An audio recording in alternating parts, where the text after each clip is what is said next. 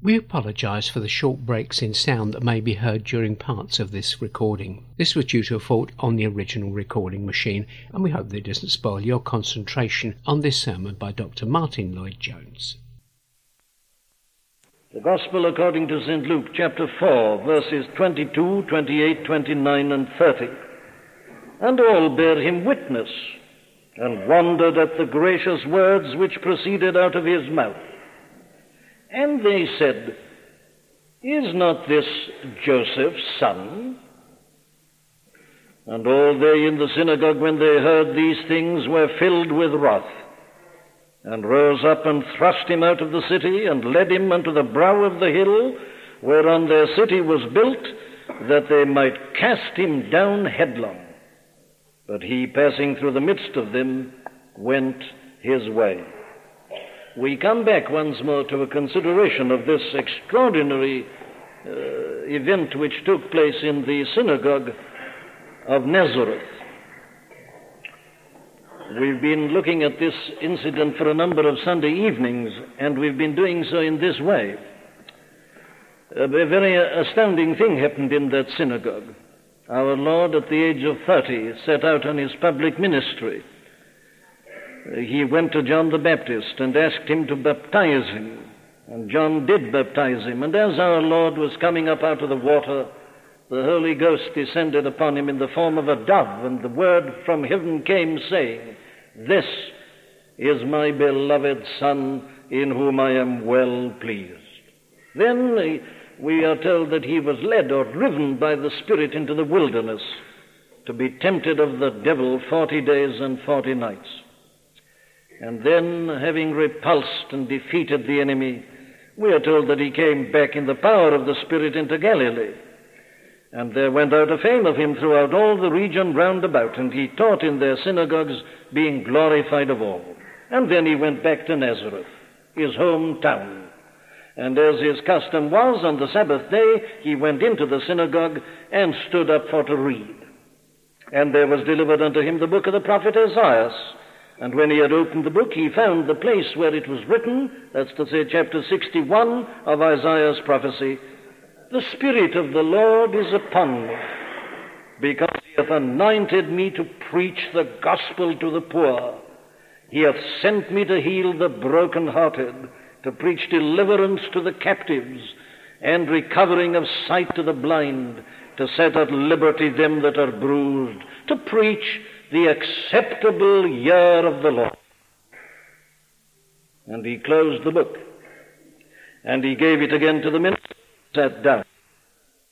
And the eyes of all them that were in the synagogue were fastened on him. And he began to say unto them, This day, this scripture is fulfilled in your ears. And then follows the 22nd verse. And all bear him witness, and wondered at the gracious words that proceeded out of his mouth. But then they began to say, Is not this Joseph's son? Uh, Jesus, who's uh, always been here with us, the carpenter. And he said unto them, Ye will surely say unto me this proverb, Physician, heal thyself. Whatsoever we have heard done in Capernaum, do also here in thy country. And he said, Verily I say unto you, no prophet is accepted in his own country. But I tell you of a truth, many widows were in Israel in the days of Elias, when the heaven was shut up for three years and six months, when great famine was throughout all the land, but unto none of them was Elias sent, save unto Sarepta, a city of Sidon, unto a woman that was a widow. And many lepers were in Israel in the time of Eliseus the prophet, and none of them was cleansed, saving Naaman the Syrian. And they all in the synagogue, when they heard these things, were filled with wrath and rose up and thrust him out of the city, and led him unto the brow of the hill whereon their city was built, that they might cast him down headlong. But he, passing through the midst of them, went his way and came down to Capernaum, a city of Galilee, and taught them on the Sabbath days. And they were astonished at his doctrine, for his word was with power. Now, there's our background, there's our setting. The thing I'm calling attention to is this. We began doing it last Sunday evening. This is surely a most amazing and extraordinary thing that the people of Nazareth gathered together in that synagogue should have behaved like this to one who had just told them that he had come to preach the acceptable year of the Lord. He's come to give and to bring the most glorious blessings that men can ever imagine. And yet here they are thrusting him out of the city, trying to murder him in wrath and fury. Oh, I'm calling attention to it because you see, there at the very outset of our Lord's ministry, the key seems to have been set for the whole of his ministry.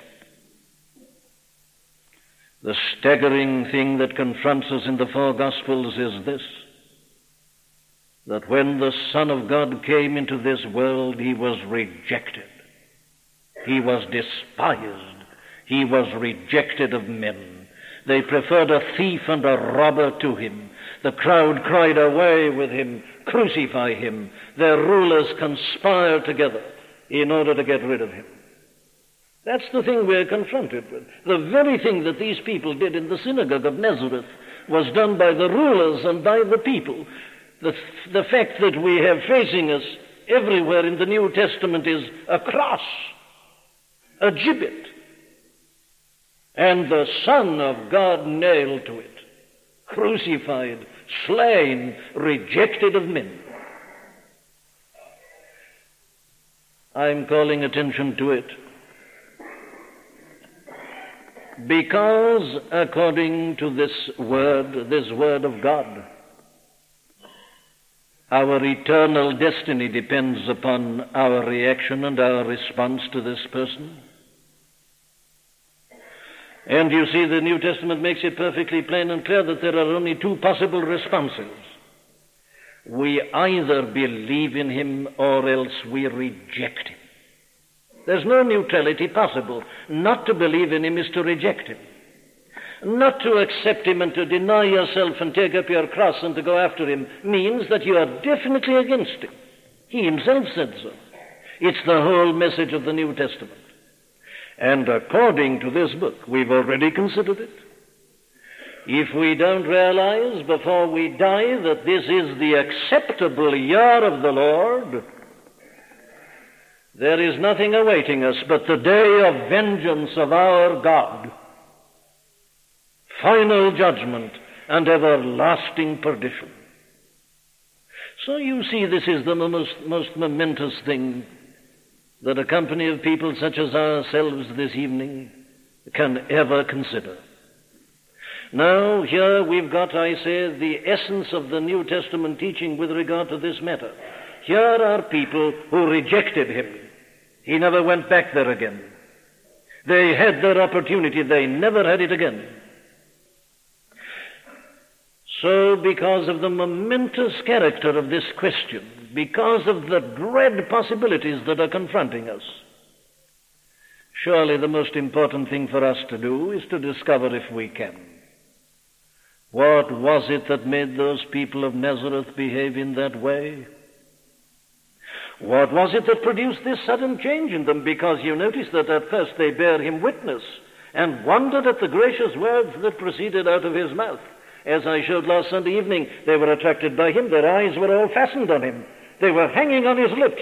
What's he going to say? They said, Isn't it marvelous? They saw something strange about him. And his gracious words, his wonderful exposition, his application of Isaiah's prophecy to himself. At first, they liked it, but in a moment everything changes. And they begin to have their second thoughts, and they say, Isn't this Joseph's son? And then you remember how he replied to that. And that filled them with wrath. And they tried to destroy him. Well, now the question is, I ask, what is it that makes people do that? What is it that accounts for the fact that there's anybody in the world tonight who isn't a Christian? With the world in its present predicament, in its appalling condition, why is it that men and women won't turn to this? They've tried everything else. They've listened to all their prophets and philosophers and teachers, and nobody seems able to help. And the world is becoming increasingly a morass. And here is a way offered that will give deliverance. And yet men and women reject it and him with scorn and take to everything else. Why is it? That's the great question of the ages. What's the matter? Oh, I emphasize the tragedy of it. Because the tragedy is this. The one they try to throw down from the brow of that hill, brow of that hill, was the Son of God. And they were rejecting all these blessings that he said he'd come to give. They were rejecting salvation. If he'd come to damn and to blast and to destroy, we can understand their antagonism, but he has come to bless. Never were more gracious words uttered than these, and yet they say away with him. What is this?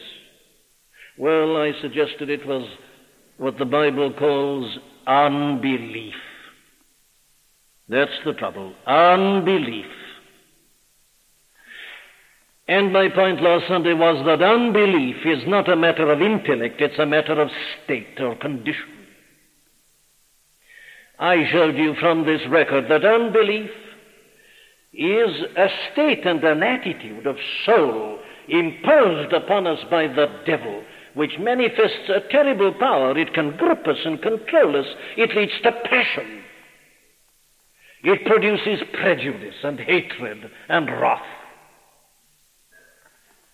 And it works upon our pride and through our pride.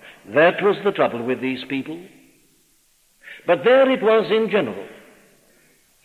And I said that this evening, God willing, we'd come on to deal with it in particular, and now I'm proceeding to do so.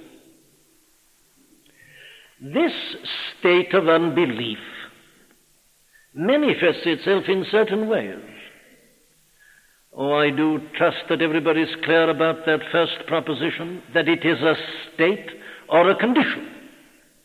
There is no such thing as a man in absolute detachment applying his mind to the gospel. It's impossible. Our minds are not detached. A man is not some kind of reasoning machine or animal sitting in a vacuum. No, no. A man's mind is governed by the whole man, his entire personality. That's why we all have prejudices. There is no such thing as a detached objective attitude.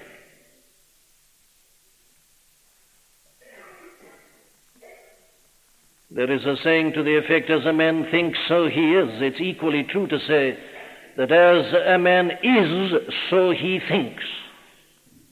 I don't want to waste time with this, but I do trust that we're all clear about that. You know, the world is full of prejudice.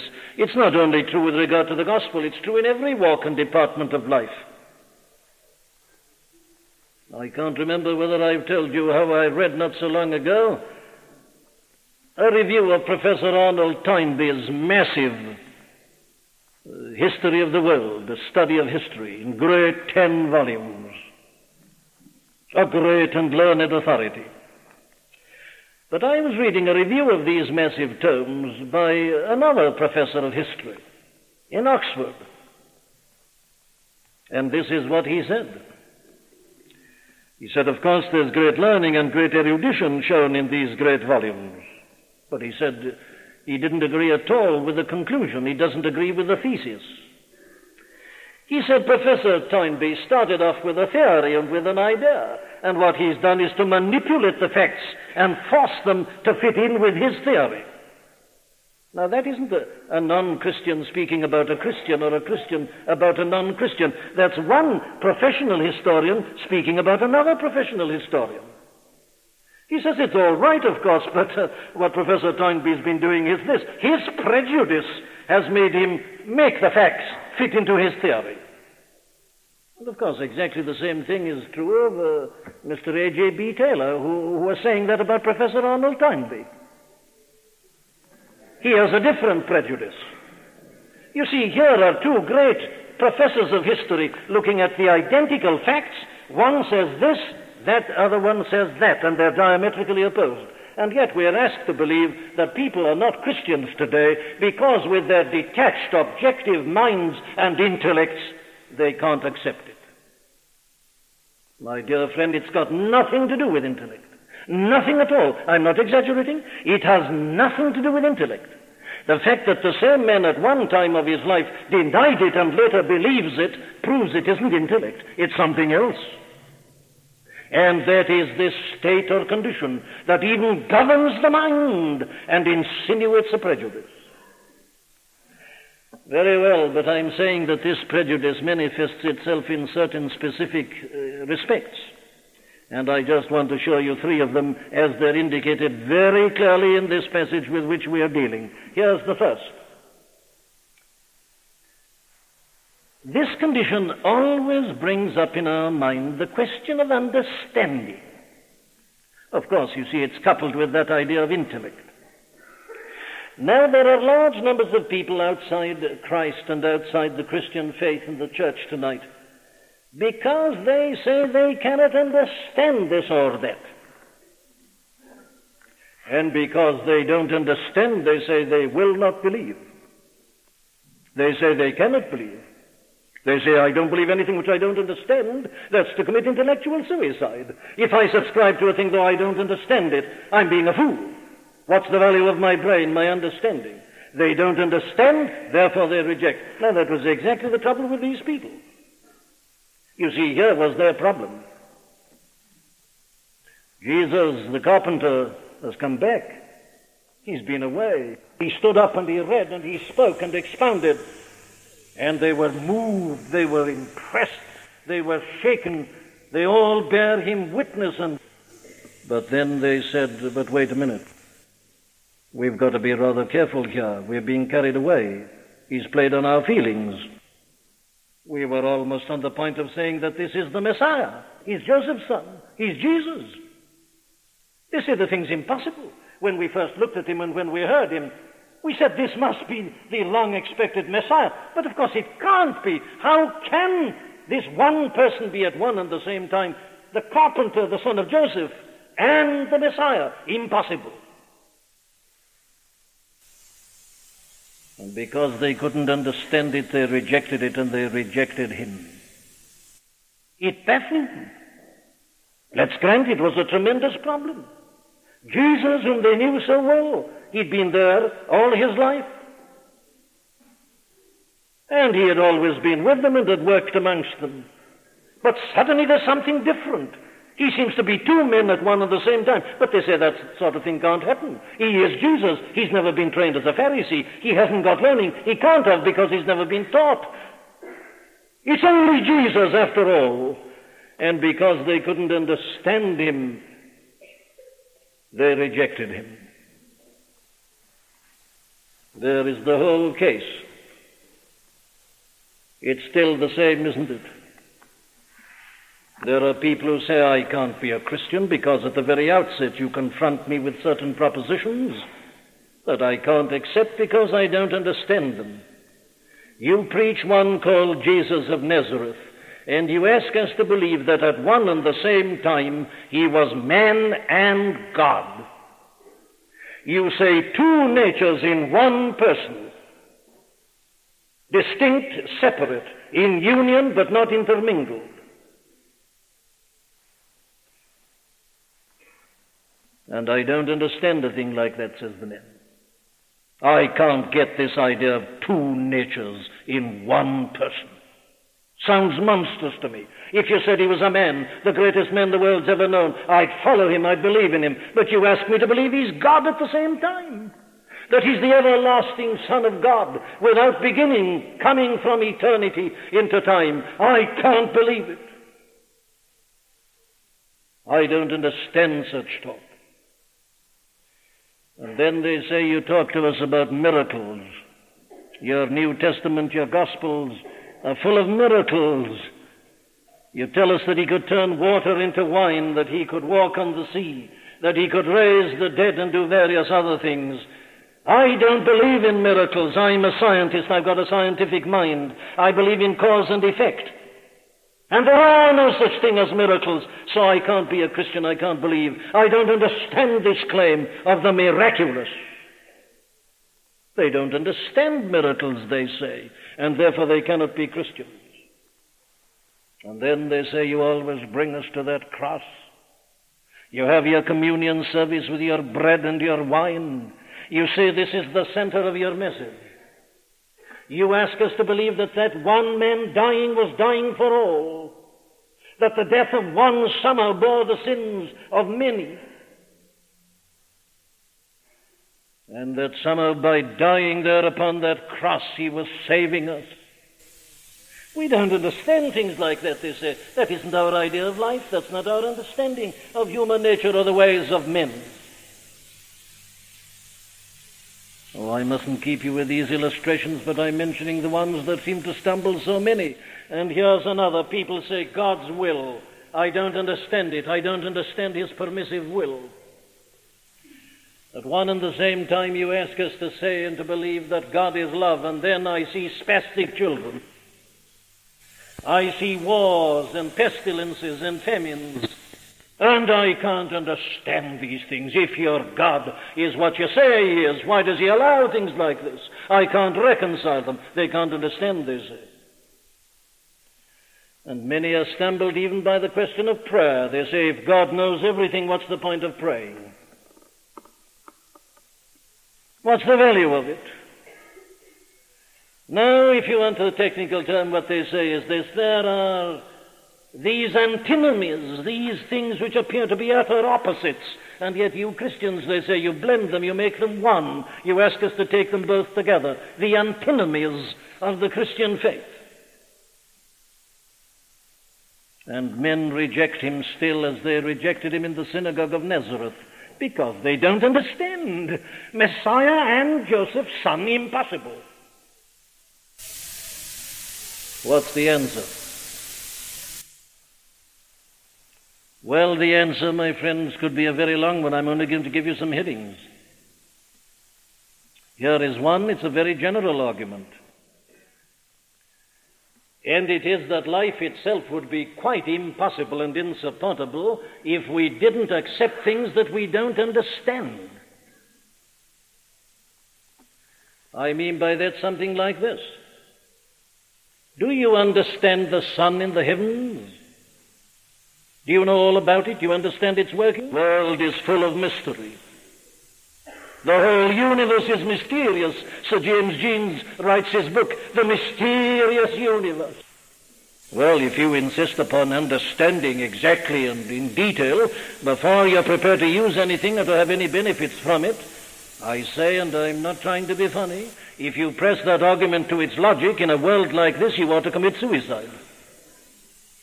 Because you don't understand your universe, and yet you go on living in it. But wait a minute, there's something much more important than that. Isn't it obvious from the very beginning that this cannot be a matter of understanding primarily? I'll tell you why I say that. If to be a Christian is primarily a matter of understanding, well, then it is grossly unfair. It's unfair for this reason.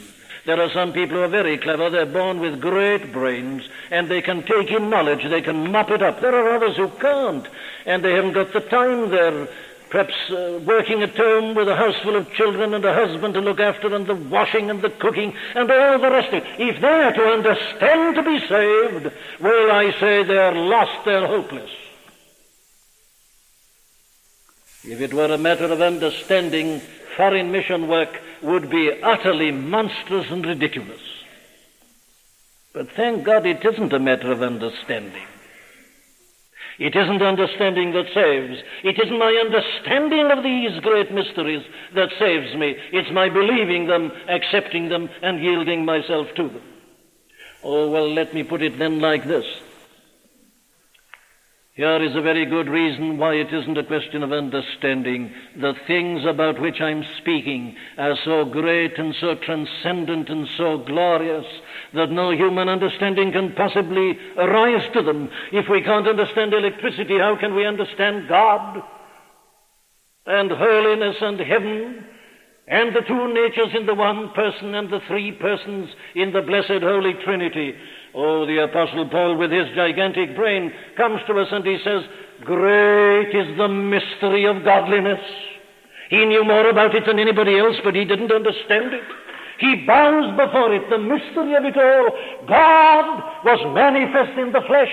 Who can understand a thing like that? It isn't to be understood. It's too great, it's too glorious, it's too transcendent. Yes, and especially when you add this final point to it all that our natures are sinful and all our faculties are sinful. Our minds are sinful. You see, we saw that last Sunday evening with this prejudice, this blindness, all seems yellow to the jaundiced eye. He can't help himself, poor fellow. Everything isn't yellow, but he says it is. Why? Well, the jaundice is in his eye. Everything's colored. We're all like that. We're all tarnished by sin. Our very minds are not functioning as they should be. And yet, with our sinful minds, we say, if I don't understand God, I won't believe Him. Lunatic. Monster of iniquity. Fool! That's our art. It is the fool that ever says in his heart, there is no God, simply because he doesn't understand. But look at the tragedy of it all as you see it depicted in these people in the synagogue of Nazareth. Because they don't understand the mystery of Jesus and Christ, man and God, the two natures in the one person, because they can't understand it. They try to murder him and to get rid of him. Was there ever greater folly? Was there ever a greater tragedy? My dear friend, just think for a moment, think reasonably and rationally, and see that you're doomed to failure at the very beginning. You'll never understand God, even if you go to heaven and gaze upon Him to all eternity. He is the absolute and the eternal, the all and in all. But come, let me say a word about the second matter.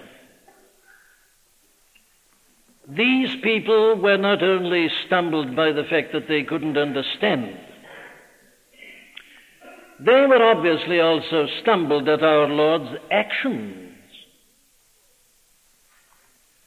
You see, he reads their minds. When they said, Is not this Joseph's son? You remember what he said. This is what he said to them. You will surely say unto me this proverb, Physician, heal thyself.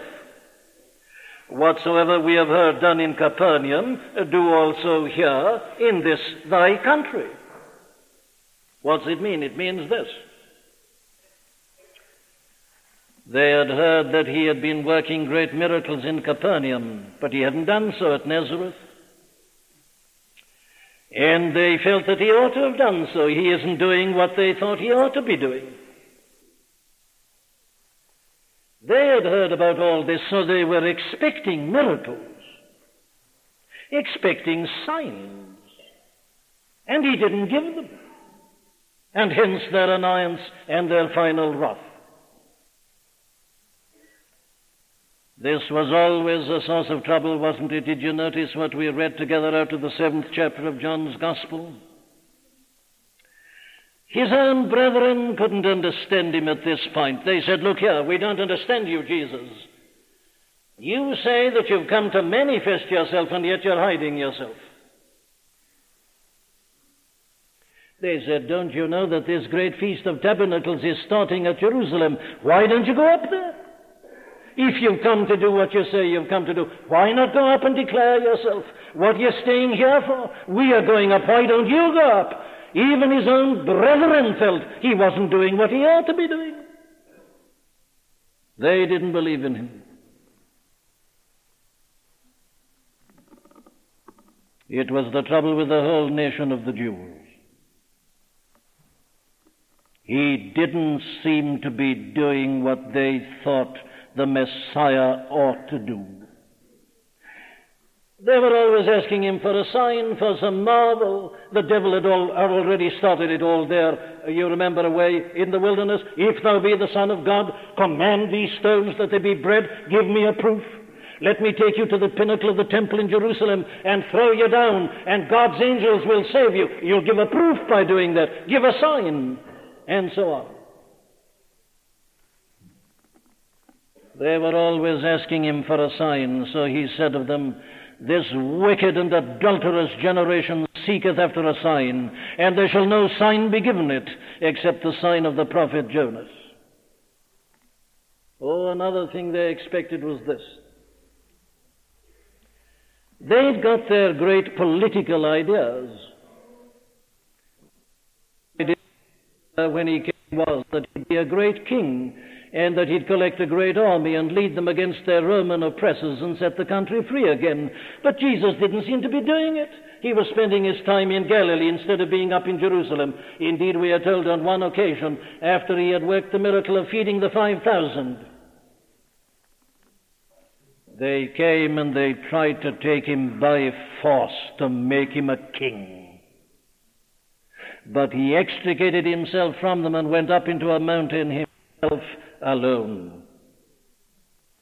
Another occasion, you remember, he was preaching and preaching a very wonderful sermon, telling them about their relationship to God and God's love to them. And the moment he stopped to take breath, a man shouted out and said, Master, speak to my brother that he share the inheritance with me. And he turned to that man and said, Man, who made me a judge or a divider among you? That man thought that he'd come to settle social problems and be a materialist and a kind of politician and a judge and a divider. That's what he ought to be doing, but he wouldn't do it. Well, if you read through the pages of the four Gospels, you'll find that they've got many ideas as to what he ought to be doing and what he ought to be saying, but he doesn't seem to be doing it. And because he doesn't, they hate him and they reject him. He ought to be working miracles, here, they said, as well as there. And because he doesn't, what is this?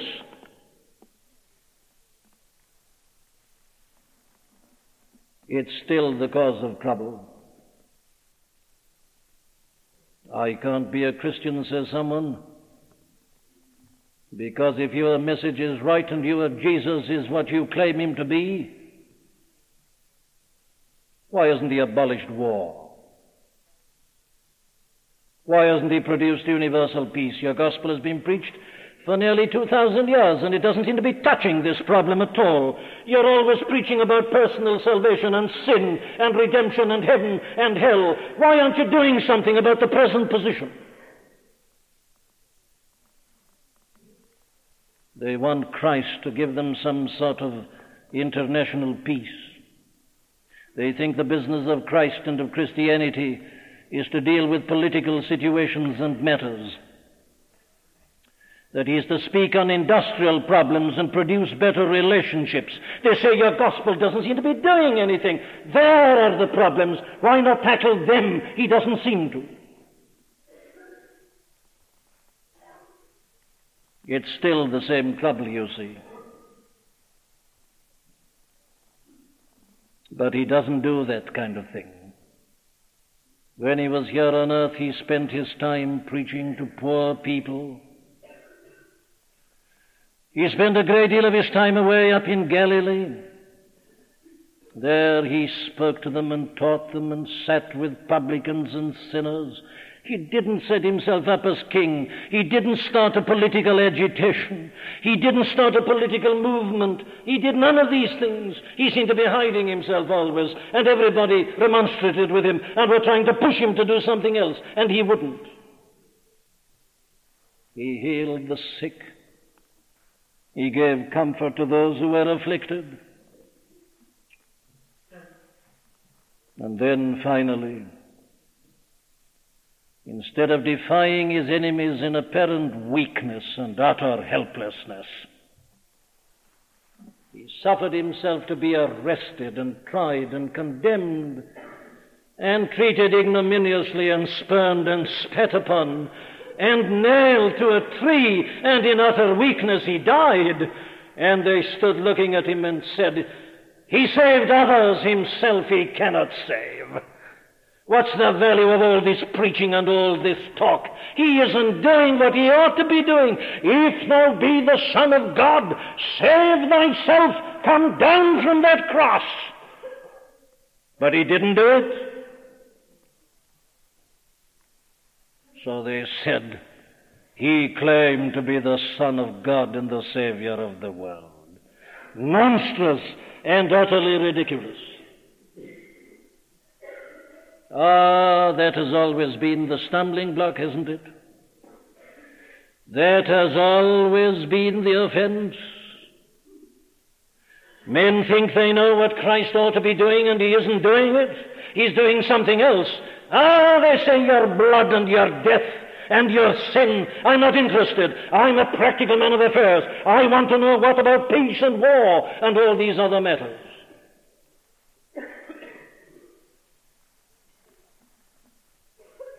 But he followed his own way. Miracles in Capernaum, not in Nazareth. He's got a plan. He's set a course. He follows it. He sets his face steadfastly to go to Jerusalem. His own disciples try to plead with him not to go. He said, I must.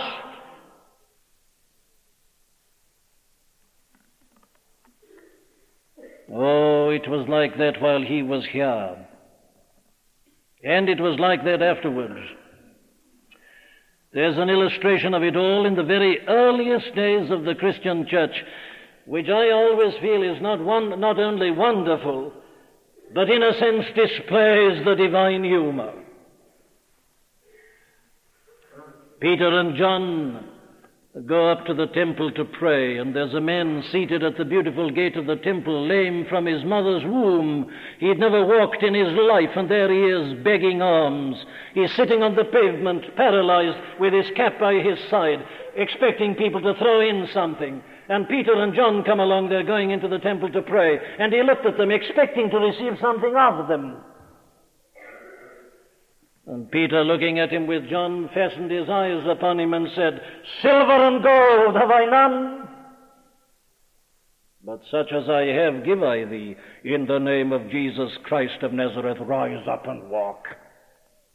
He expected silver and gold. They say, We haven't got it, but what we have got we'll give. And they gave. Whether you and I like it or not, my friends, the business of the Christian church is not to deal with political and social questions. You may say to me, look at this man, Archbishop Makarios. Why does he interfere in politics? Why doesn't he do his own job as a churchman? I agree a hundred percent with you, but with great respect I would say the same thing to the Archbishop of Canterbury and the Bishop of Chichester.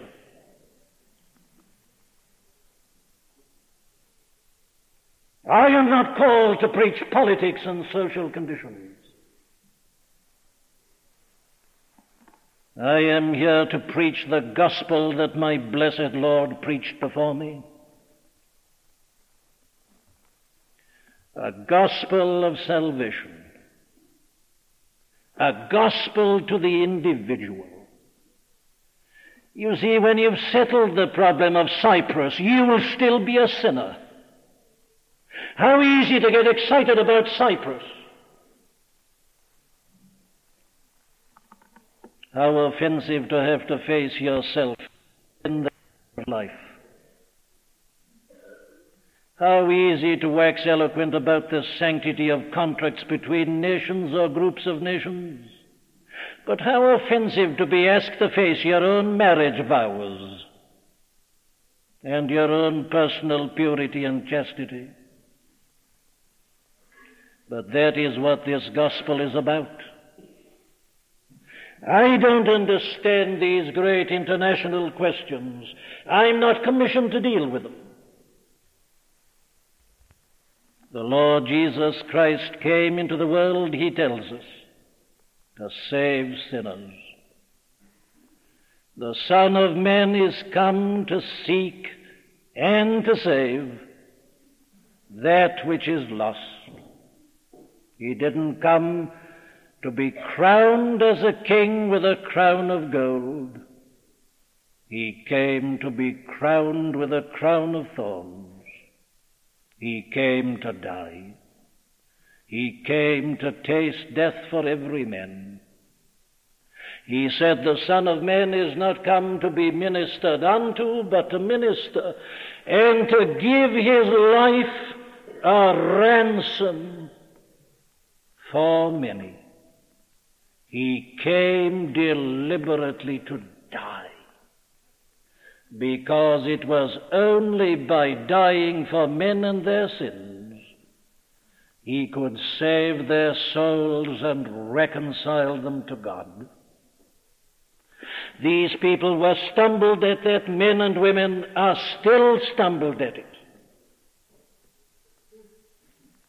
And that brings me to my last point, which I just mentioned. These people in the synagogue of Nazareth objected also to the idea of grace. You see, their whole approach to him was wrong, and that's why he spoke so severely to them. They felt that they had a right to make demands of him. They said, Look here, you've worked miracles there, why don't you here? They come with a demand, they present a bill. And he replies by making it very plain and clear to them that as long as they're in that frame of mind and in that attitude, he has nothing at all to give them except condemnation. He puts it in this way. He said at the time of that great famine, which lasted three and a half years, there were many widows in Israel. But God didn't send Elias to any one of them. He sent him unto a widow of Sarepta, a city of Sidon. And in the same way, he said, in the time of Elisha the prophet, there were many lepers in Israel, but God didn't send him unto any one of them. He sent him unto Naaman, a Syrian. And Israel doesn't like this, but it isn't a question of what Israel likes or wants or expects. It is God who gives. It is God who decides.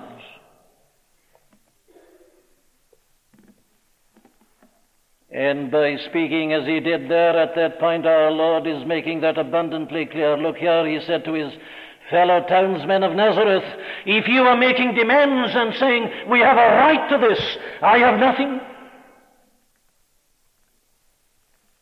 Didn't you hear me when I said just now, he seems to say, that I have come to preach the gospel to the poor?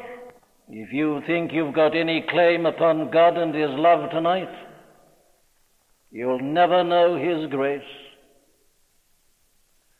We are all sinners and we have no rights in the presence of God. We can't demand, demand anything. We can't present any bill that you come to him and say, Nothing in my hands I bring. Simply to thy cross I cling. Naked come to thee for dress, helpless, look to thee for grace. Foul I to the fountain fly.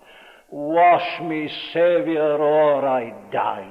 If you come to Christ standing on your feet and presenting demands, you'll get nothing but what these people had in Nazareth. He'll rebuff you. He'll reject you. He'll condemn you.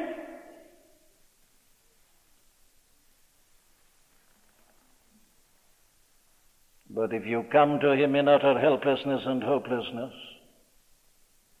realizing your emptiness and woe, He'll give you everything.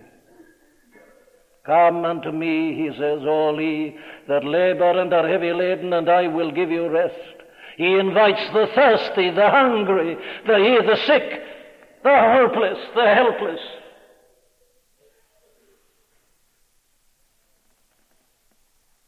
If you come, I say again, standing erect in terms of demands and rights, you'll get nothing.